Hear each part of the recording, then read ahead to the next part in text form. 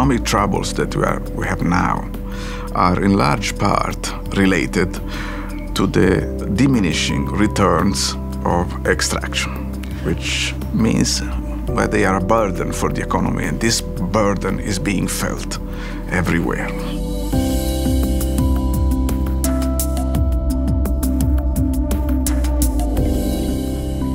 We are not running out of any mineral, extracting and producing minerals is becoming more expensive because of depletion.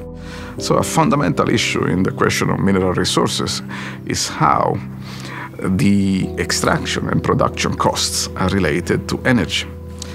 Because extracting minerals from the ground requires a lot of energy. You have to um, grind rock, to dig holes in the ground, to process rock, and to extract the minerals out of it, the minerals you need, because the mineral never, never comes pure. It's always mixed with a matrix, which is usually rock. Now, you have two problems. One is that as you move on exploiting the resource, you exhaust uh, those resources which are highly concentrated, easy to extract, and giving you a good yield. And you don't have to use too much energy to extract them. And this is one problem. The other problem is that the energy you use to extract anything normally comes from hydrocarbons. The, mining, the mineral industry uses a lot of energy from fossil fuels. About 10% of the world's energy production is used in, by the mining industry. There is a limited number of high-grade deposits and therefore cheap mineral resources which are found in the upper crust of the Earth. Their exploitation built the foundation of previous empires as well as our modern technological society. Mining is what brought us, us here where we are, our civilization, our world, our society. Many empires in the history of humankind have been created on the availability of some important mineral commodity. An interesting example is that of the Roman Empire, which was created on the availability of gold from uh, the Spanish mines that the Romans had. Uh, more recently, we had the case, for instance, of the British Empire, which was built on the energy created by the coal resources that were available in England. But then uh, you have this problem, which is depletion. And depletion brings this little problem of diminishing economic returns. So the British Empire had, had been built on cheap coal. It could not survive on expensive coal. So around the 1920s, the production of coal in Britain went through a maximum and then started to decline. And then, with this decline of coal, there went the British Empire. We will never run out of minerals, but we will run out of cheap fossil fuels and high-grade ores. The limits to mineral extraction are not limits of quantity, but of energy. Extracting minerals takes energy, and the more dispersed the minerals are, the more energy is needed. Technology can mitigate the depletion problem, but cannot solve it. The depletion of fossil fuels is already becoming a serious problem. The peak of conventional oil production may have passed between 2005 and 2008, while all other oil and gas resources could peak within the next 10 years. Coal production could increase for several years, but at a tremendous cost to the environment.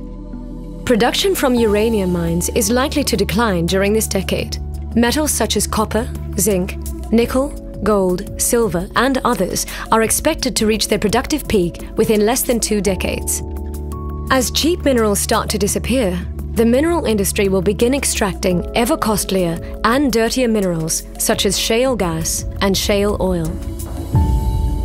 So you have a problem that the cheap resources don't exist anymore.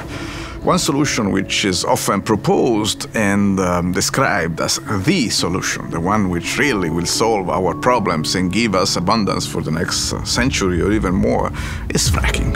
There's no doubt that we are we can produce gas and oil by fracking, no doubt, but it is expensive. So you have to ask yourself, uh, am I solving really a problem? Or am I creating a bigger problem? Just like that. consider that a shale gas well loses about 80% of its output in two years. So you need to drill and drill and drill and drill, and it's expensive. And some people say that we can have a, um, a cycle of extraction which will go through about a decade, which means that in the coming years we already have uh, we will already have problems in keeping production at the present levels. But anyway, we are talking of at best of a few decades, not centuries.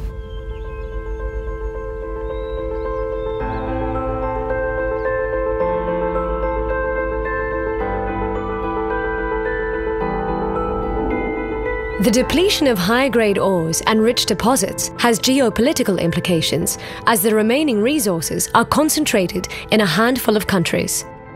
For example, only four countries Chile, Australia, China, and Argentina currently produce almost 95% of global copper output.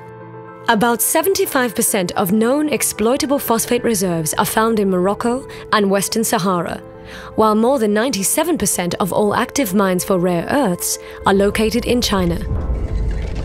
Because we have, we had in the past, this wealth coming from mineral resources.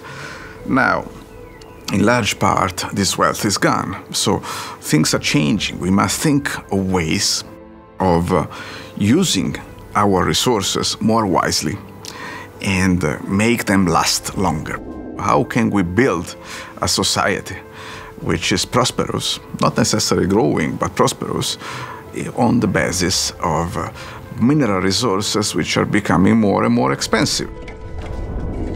We must rebuild our prosperity on relatively expensive resources, which means a few things. One is that we have to be much more efficient. That's necessary because, because so far resources were so cheap that we were using them in a very wasteful way, throwing them away.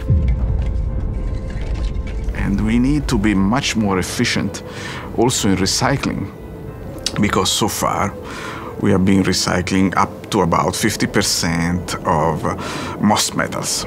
So we need to go much higher than that 90%, 95%, even more. We need to build up new energy sources to solve the crisis. And if we're willing to do this and uh, willing to make the sacrifices which are needed, then we can build a future of prosperity for the whole humankind.